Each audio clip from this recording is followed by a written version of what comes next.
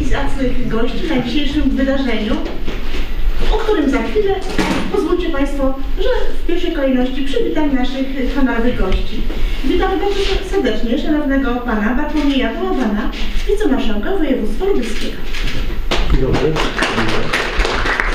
Witamy szanowną Panią Dyrektor Elżbietę Katarzynę Kędzierską, dyrektor Departamentu Kultury, Edukacji i Dziedzictwa Narodowego.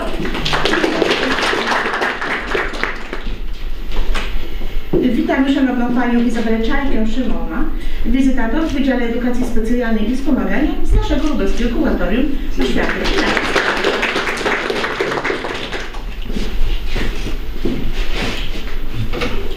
Witamy Panią dr Ewelinę Panas, pełnomocnika rektora do spraw umiędzynarodowienia kształcenia UMCS. Dotrze. Dobrze, ale jest już ale, ale myślę, że jest y, y, obecna Szanowna Pani dr Anna Jańska, pełnomocnik rektora do spraw rekrutacji UMCS. E, Witamy Panią Dyrektor Szkoły, z której przybyła młodzież, Panią Jolantę Galę, Dyrektor 23 Liceum Ogólnokształcącego imienia Tajnego Nauczania e, Nauczyciel. Nauczycieli w Lublinie, tak? Z szybkości, tak, tak. I, I witamy szanownego pana doktora Edwarda Kidilewicza, naczelnika oddziałowego Biura Badań Historycznych IPN z którym współpracujemy od lat. I wreszcie witamy nasze siostry misjonarki Afryki, siostry Białe. Witam siostrę Małgorzatę Popławską. Również witam serdecznie siostrę Wiktorię.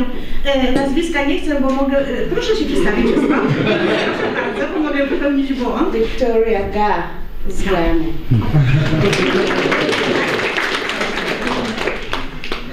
W tym momencie przywitam bardzo, bardzo serdecznie również braci Zgromadzenia Misjonarzy Afryki, ojców białych. Witam ojca Bogusława Żero. Ojca Franciszka Szczurka.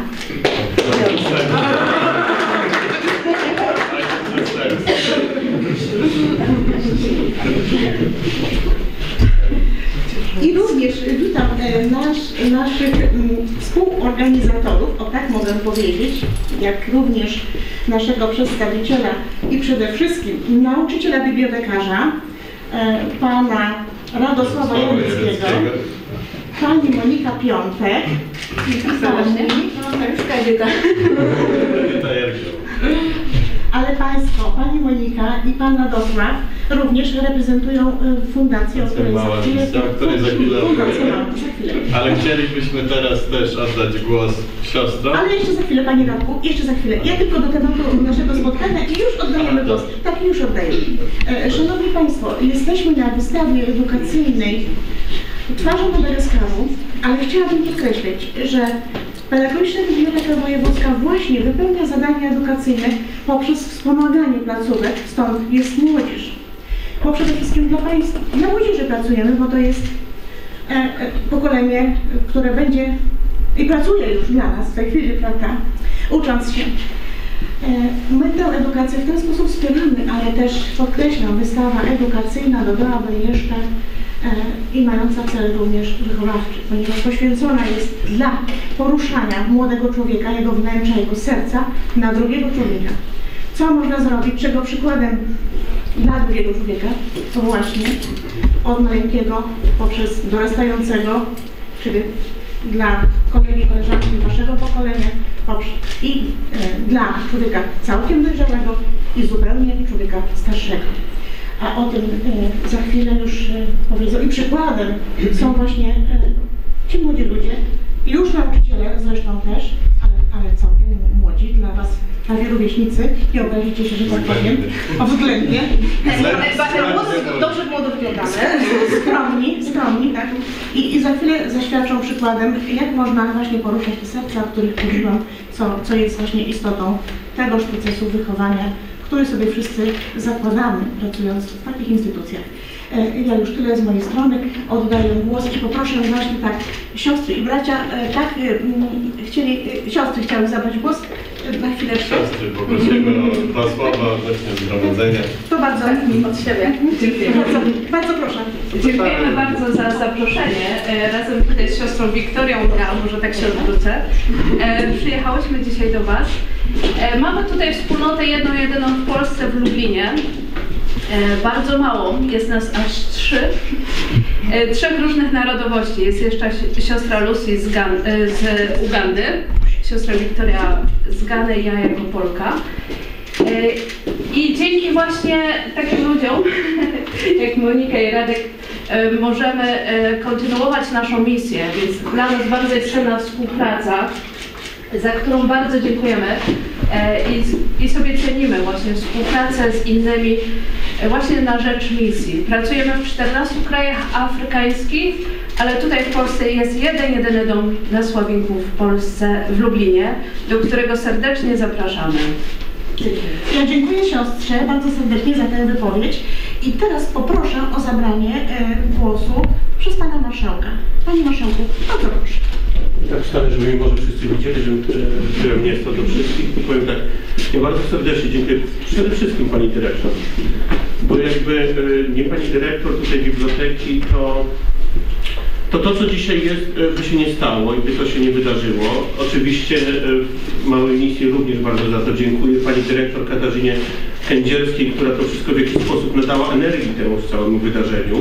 Bo też gdyby nie ta energia, to pewne rzeczy by się nie ożywiły, pewne rzeczy by się nie pojawiły, pewne rzeczy by się nie zadziałały.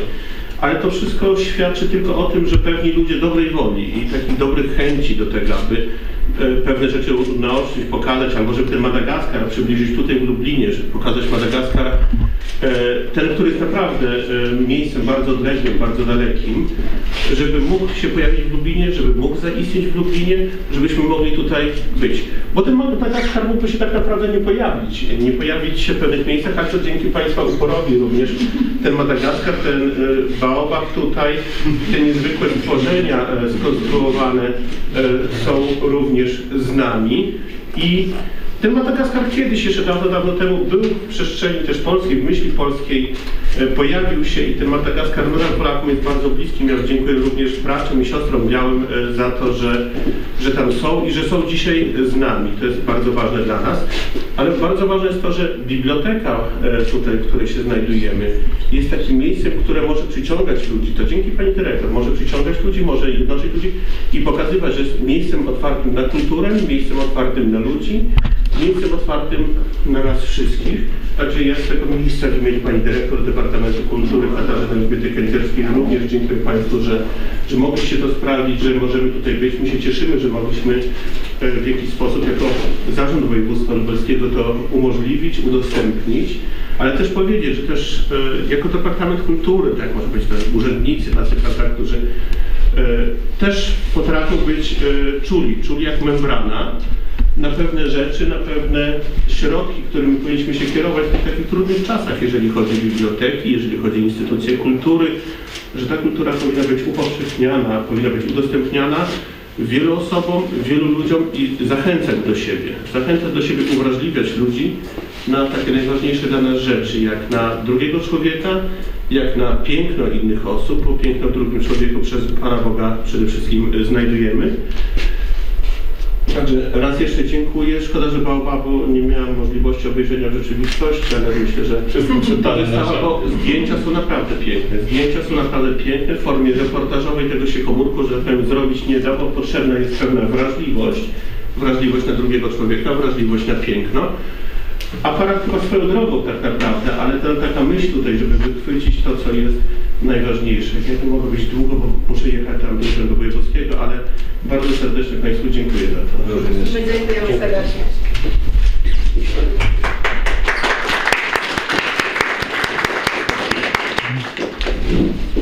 Ja dziękuję serdecznie za te miłe, przyjemne słowa ze strony Pana Marszałka i oczywiście y, ja nie powiedziałam jeszcze wszystkim y, Panu Marszałkowi, Państwu i młodzieży również, że jest to zwiastun, pierwszy zwiastun. Ta wystawa jest takim zwiastunem e, szeregu innych e, koncepcji, które mamy tutaj w założeniu racjonalizować i to na pewno uczynimy. W jakimś tam czasie będziemy oczywiście znów Państwa informować, bo będą też lekcje, m, takie typowe lekcje dydaktyczne e, na poszczególny poziom edukacji od przedszkolaka po, właśnie szkołę średnią, studenta, po nauczyciela również. To I seniorów. o, i seniorów, tak. Ale to już Pan Radosław, ja tylko jeszcze muszę o Panu Radku, ponieważ e, myślę, że e, trafiła nam się tu perełka, jeśli chodzi o nauczycieli. E, Znamy się dość krótko, bo Pan Radosław no, naprawdę pracuje króciutko u nas, co nie znaczy, że już nie zdążyliśmy się poznać i w jakiś sposób tu zaprzyjaźnić. I te dowody pracy są gdzieś na każdym odcinku e, przez Pana tutaj nam e, jakby przedkładane. E, Pan Radosław, tylko powiem króciutko, jest z wykształcenia filologii polskim, jest pedagogiem specjalnym, jest artystą, czego widać na tych fotografiach.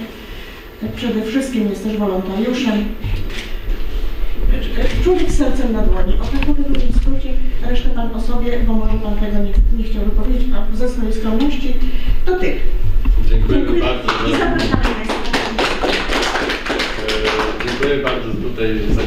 E, Chciałbym jeszcze tylko tak e, pozwolić ścisłości e, powiedzieć, że misjonarze Afryki nie są jeszcze na Madagaskarze, ale zapewne będą.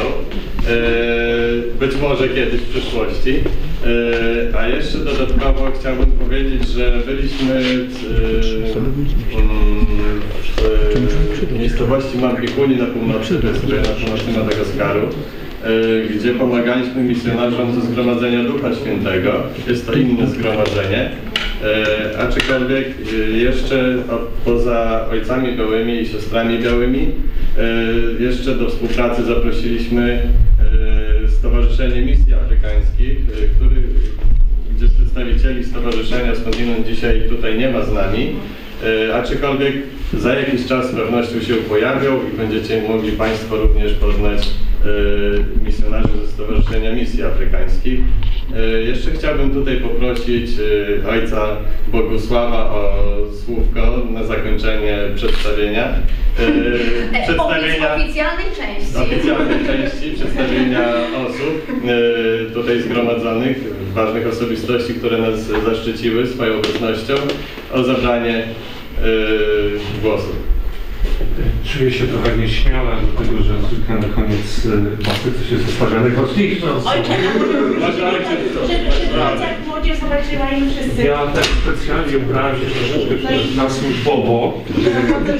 Czy to jest e, ubiór mężczyzny muzułmanina w Afryce Północnej? W kraju Magrebu, Algieria, Tunezja. Taki mamy habit i tym elementem chrześcijaństwa jest ten różaniec, który nietypowo nosimy na piersiach, zamiast jak zwykle ci zakonnicy, którzy gdzieś tam przy pasie mają. A nasze zgromadzenie poświęca się ewangelizacji Afryki. Jesteśmy w Afryce obecni od samego początku tej takiej ery nowożytnej. Nasi ojcowie byli pierwszymi, którzy zanieśli tam dobrą nowinę. No i teraz już kontynuujemy to dzieło, ale Afryka się zmieniła. To nie jest ta Afryka, jaką znaliśmy, chyba czytaliście Pustyni w Puszczy, nie? Ale to już nie jest ta sama Afryka, nie? E, To, e, a mam przy, e, obok mnie siedzi ojciec Jacek Wróblewski, miał być ojciec Franciszek, Tak, ale, ale, Franciszek. ale nie dojechał, ponieważ zajmuje się inną grupą młodzieży w domu, tak akurat nam wypadło.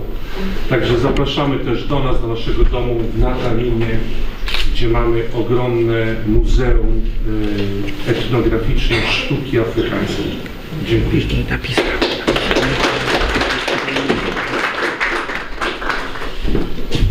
E, A więc tak, my teraz może ze swojej strony przedstawimy e, nasze działanie, nasze fundacje. Tutaj pięknie Pani Dyrektor przedstawiła moją osobę.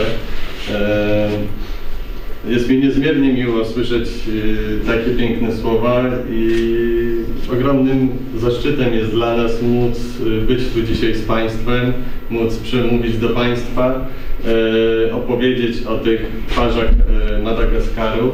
Skądinąd te twarze, fotografie, które Państwo dzisiaj e, zobaczycie, będziecie mieć możliwość zapoznać się z historią tych dzieci. to są właśnie dzieci, mm, może dziwnie to zabrzmi, ale dzieci symbole. Dzieci symbole, e, które przedstawiają życie, e, trudne życie e, Malgaszy. Mm, Ale o tym dowiecie się Państwo za chwilę. Mm, Zapewne każdy z Państwa też miałby inne oczekiwania względem dzisiejszego spotkania. Niektórzy by chcieli się dowiedzieć stricte o samej kulturze, niektórzy o historii, o tym, co Polacy robili też na Madagaskarze, bo też są to ciekawe historie. E, Inni z kolei e, by chcieli się dowiedzieć, jak wyglądał nasz wolontariat. Niestety e, nie możemy tego wszystkiego zmieścić w treści jednego spotkania. E, Tych spotkań e, zapewne będzie więcej. Wchodzimy też w taką ścisłą współpracę z ojcami białymi, z siostrami białymi, niezwykle wspaniałymi i ciepłymi ludźmi.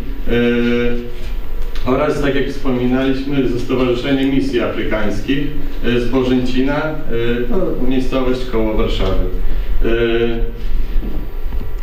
Dzisiaj tutaj y, przedstawiamy Państwu bogatą taką kulturę, z którą się też zetknęliśmy na Madagaskarze.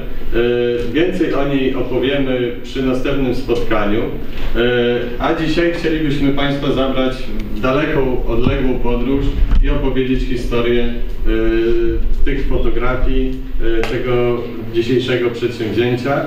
E, A dodatkowo tylko chciałbym wspomnieć, że nasza współpraca z biblioteką, e, mamy nadzieję również, że z Urzędem Marszałkowskim, e, które zechce nas zaszczycić i objąć patronatem naszą działalność. Chcemy Państwa też w jakiś sposób uwrażliwić, uwrażliwić na krzywdę e, ludzi w Afryce, ale i nie tylko, i w innych miejscach na świecie, ponieważ e, nasza przestrzeń działań, przestrzeń naszych działań nie będzie zamykała się tylko mm, do przestrzeni Afryki.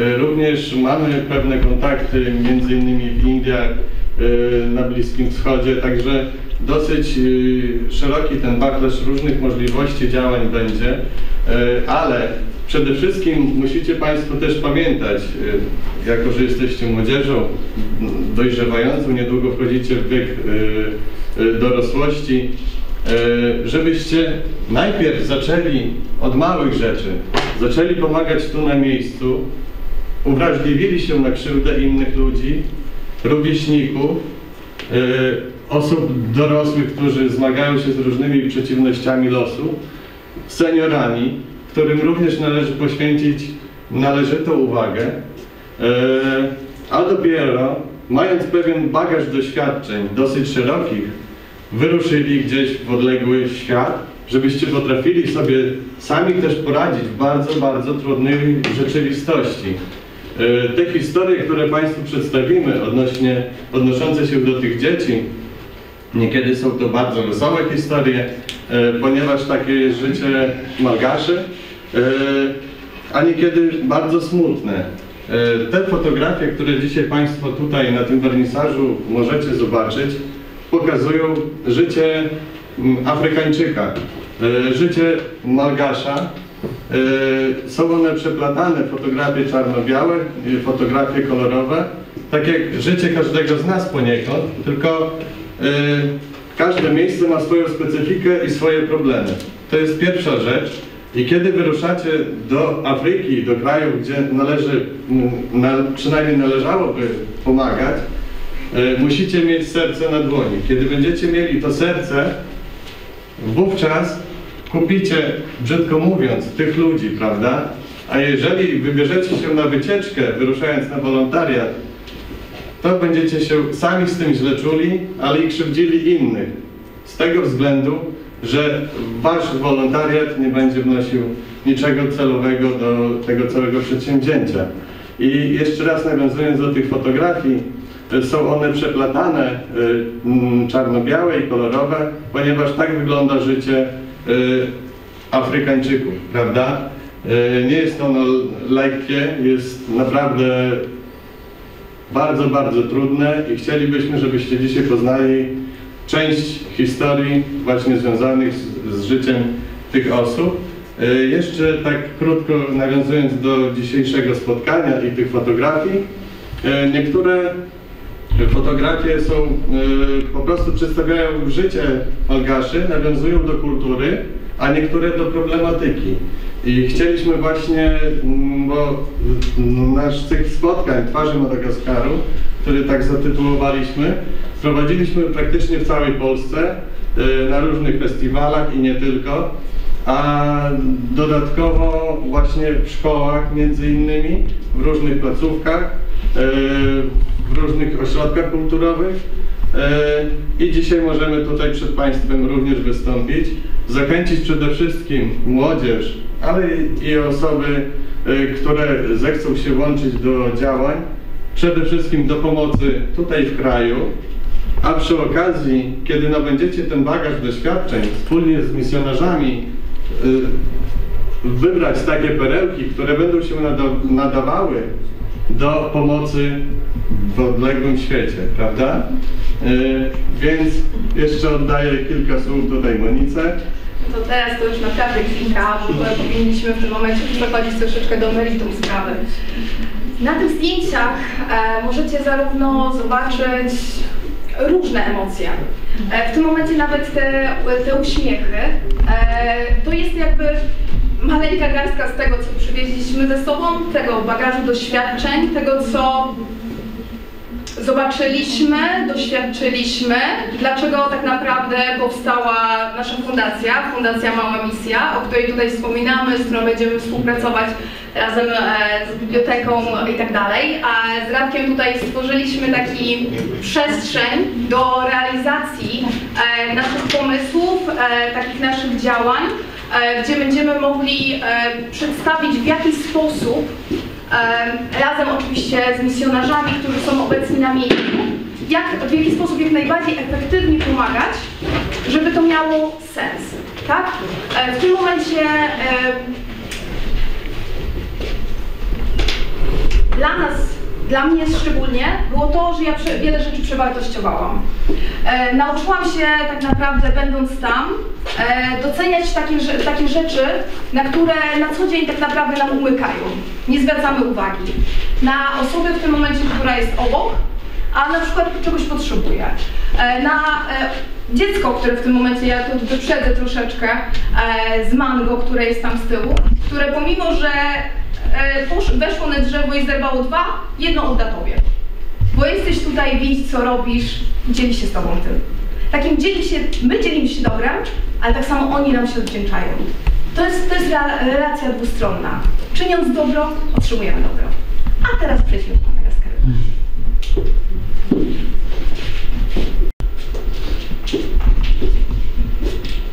A więc tak, e, tutaj zaczniemy właśnie już przechodząc do otwarcia dzisiejszej wystawy, dzisiejszego wernisażu, mm, opowiedzieć historię właśnie tych dzieci, e, historię fotografii e, e, i przedstawić Państwu właśnie te pewne treści. Mm, Tak jak wspomniałem na początku, te dzieci są często symbolem, symbolem różnych y, miejsc, w których byliśmy, w których doświadczyliśmy różnych dramatów, tragedii, szczęść, trosk y, i gdzie staraliśmy się pomóc. Y, taką tutaj postacią, jedną z postaci jest ten chłopiec, między innymi, który przybył na misję w Mampikuni, gdzie byliśmy, a wspomnę tutaj, bo nie było też e, miejsca na to, byliśmy w plemieniu Cimiheti, co znaczy w tłumaczeniu na język polski ci, którzy nie obcinają włosów. To Więc widzieliście, jak jak, widzicie, rad, jak, jak Radka powitali. Dosyć, dosyć dobrze się tam odnalazłem. I e, właśnie jednym z takich symboli jest ten chłopiec, który przybył, przybył na misję ze swoją mamą i bratem. Prosimy o następną fotografię. E, potrzeb, potrzebując pomocy, wsparcia właśnie misjonarzy. E, I ten chłopiec na przykład jest takim symbolem, ponieważ do misjonarzy często docierają osoby, które potrzebują ogromnego wsparcia, e, niekiedy nawet materialnego. Mm, Życie Malgasza również jest bardzo uduchowione. Niekoniecznie zapraszamy. Teraz ale, zanim, Chcielibyśmy e, tutaj Państwu przedstawić naszą wspaniałą siostrę z Madagaskaru, która dzisiaj specjalnie do Państwa też przybyła. I powitajmy siostrę słowami takimi e, powitaniem malgaskim Salama Tupku. Albo jeszcze, będąc w innym plemieniu Sakalawa, powitanie na przykład jest Bulacara. Powtarzamy. Bulacara. I siostra prawie czuje się jak w domu. Witamy, dzień dobry po polsku. Cześć Boże. Cześć Boże. Dzień dobry. Dzień dobry. Zapraszamy. Zapraszamy siostrę. Tam są, tam są jeszcze, o widzę są miejsca. Tak, tak, tak. Tu, tu, tu, tu. Siostrzyczko, proszę. E, Tu będzie jedno Tutaj będziecie Tak, mogli tak. e, na początek, e, jakby zacznie się taka historia tych zdjęć, które e, mamy tutaj jakby na wystawie, te twarze, które mają, tak jak Radek wspomniał, e, pokazywać Wam różne historie, różne momenty. E, tutaj zobaczycie, jak te, powiedzmy te kadry w międzyczasie były, czyli jak, e, gdzie byliśmy, e, w jakim momencie spotkaliśmy na przykład te osoby, które są w tym momencie na zdjęciach. Więc to jest w ten sposób. A jeszcze na mapie Pani pokazała, gdzie byliście. Ja tak patrzę. Dokładnie. Lądowaliśmy w Antananariwie, czyli w stolicy, mieście tysiąca wojowników. Gdzieś tutaj mniej więcej się znajduje. Byliśmy bardziej na północy Madagaskaru, Mampikuni.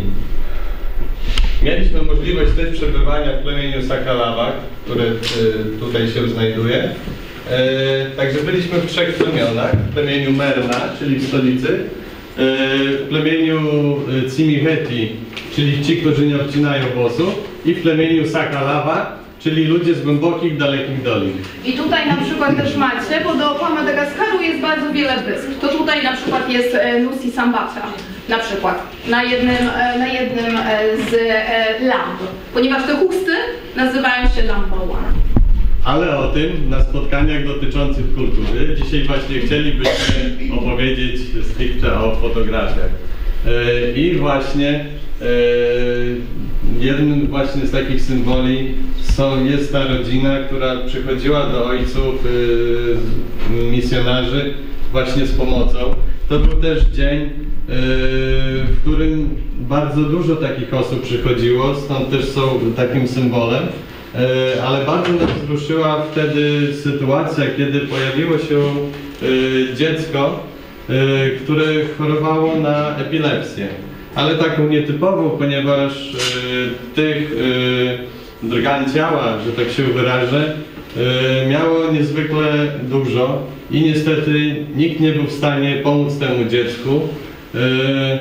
I dochodzi- dochodziło do tego, przy, do wielu dramatów, między innymi to dziecko traciło przytomność na dłuższy czas.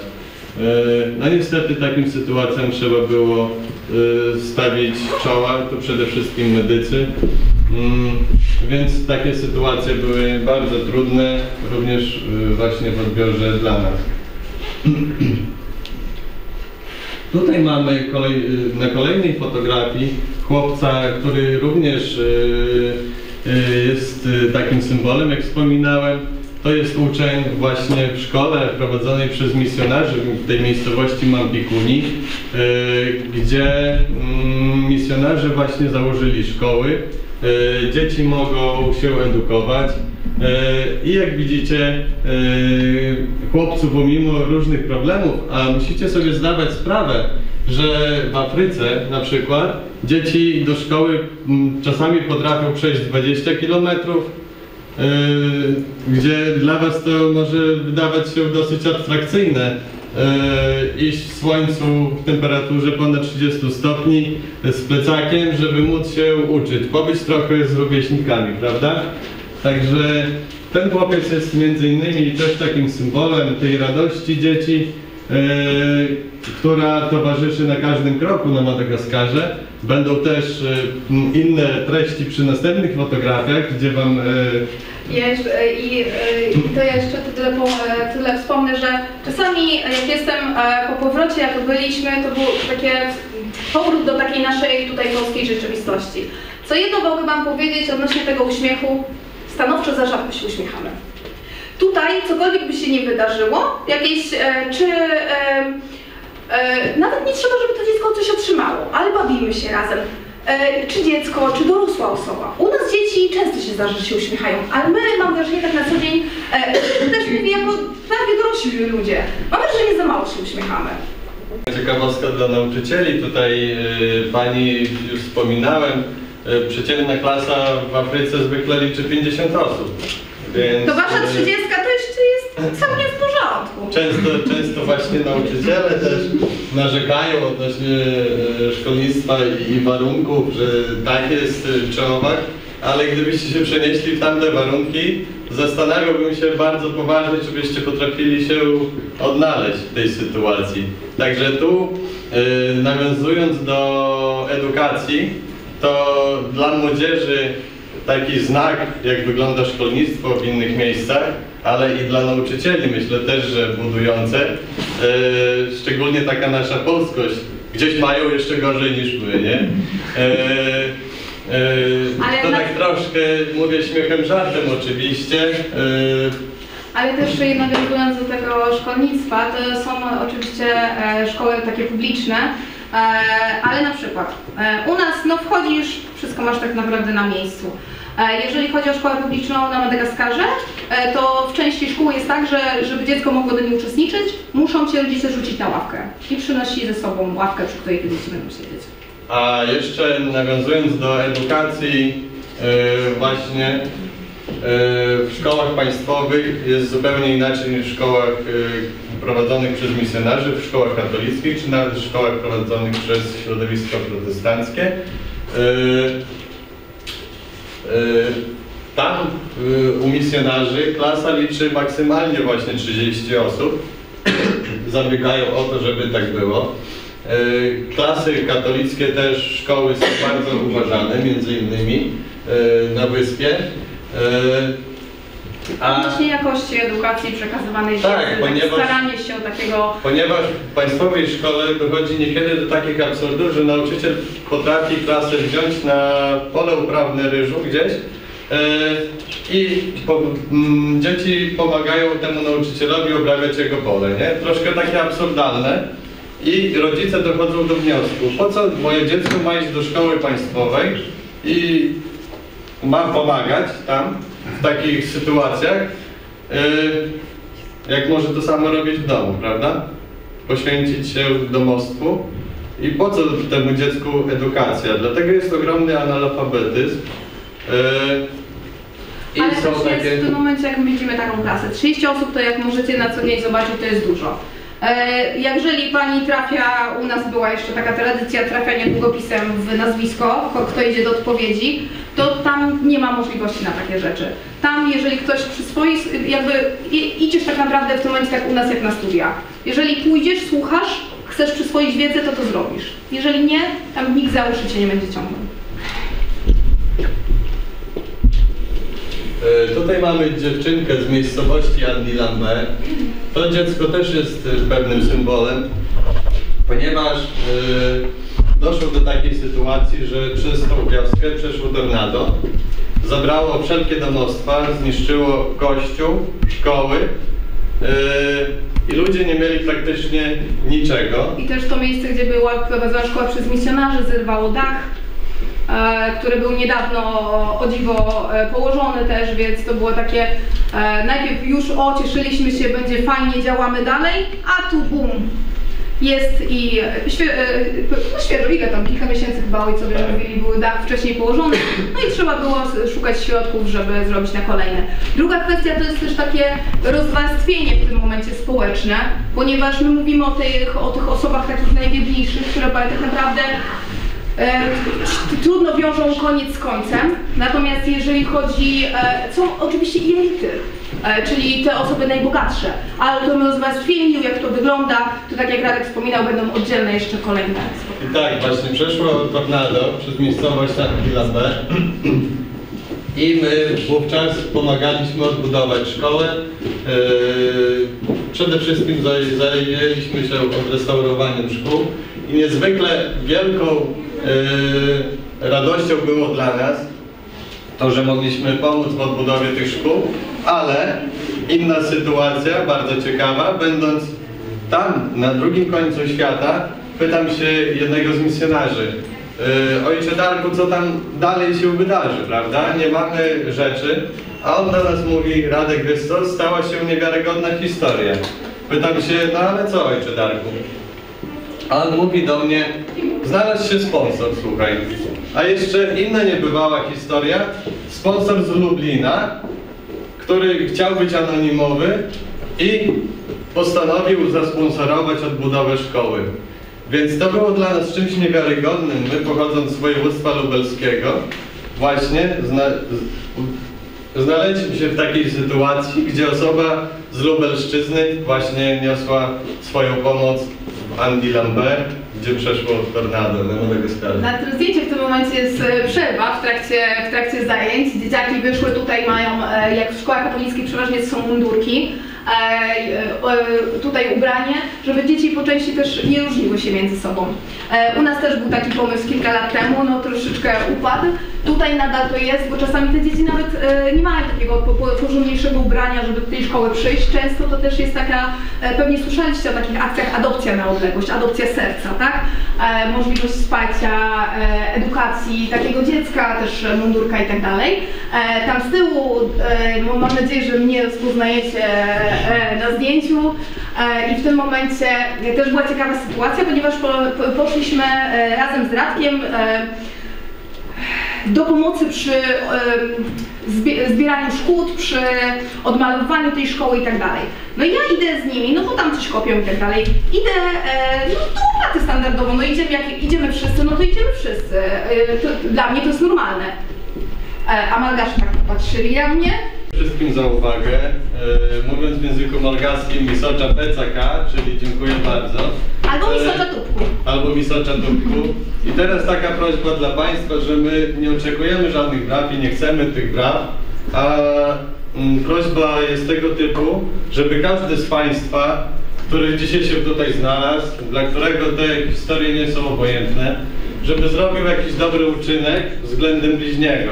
Czy to tutaj, czy zechcecie pomóc misjonarzom, to będzie niezwykle budujące i bardziej wartościowe, żebyśmy swoich rąk użyli do e, wartościowych rzeczy, a nie tylko po prostu bili brawo w celu jakiegoś zbierania poklasków.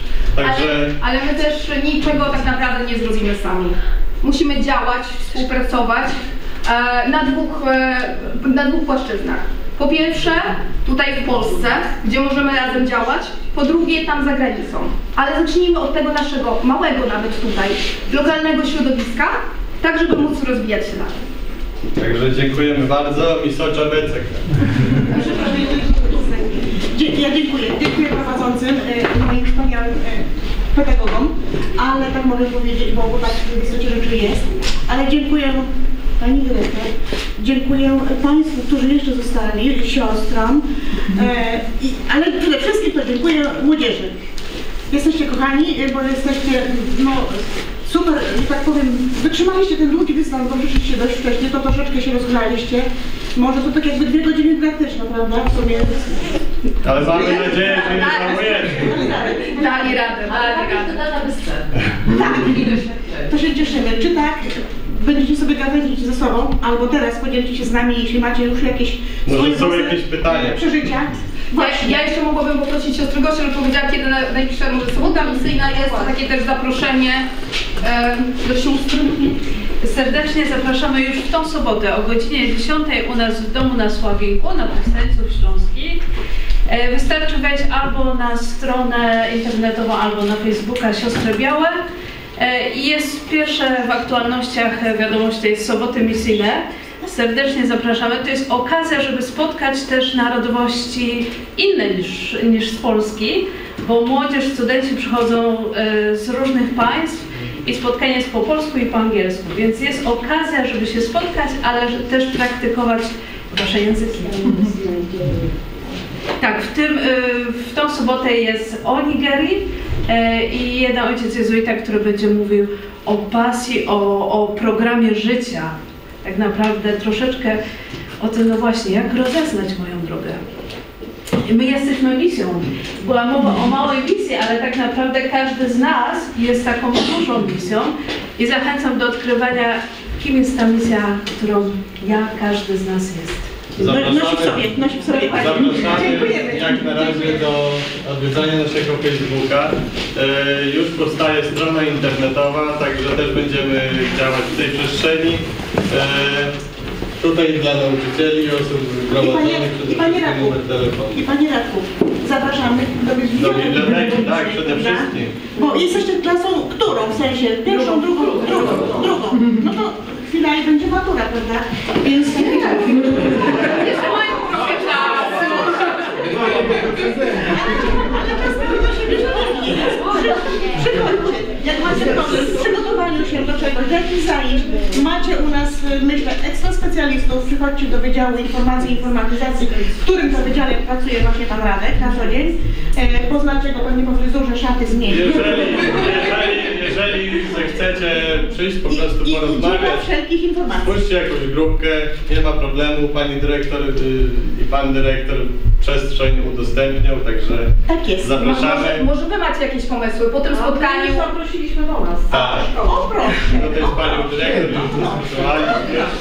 Ale, ale w tym momencie możecie rozważyć. Macie w tym momencie taki e, male, maleńki ogląd. Może wam coś przyjść do głowy. Na przykład takie pomysły, coś, które, na które my do tej pory nie wpadliśmy. Zróbmy coś razem, podziałajmy z biblioteką, mamy tu świetne miejsce. będzie dobre, bo to Oni to przetrawią wszystko w swoich głowach. Na razie dziękujemy Wam za zaniesie. Dziękujemy Wam bardzo serdecznie. I ściskamy Was, o tak właśnie. E,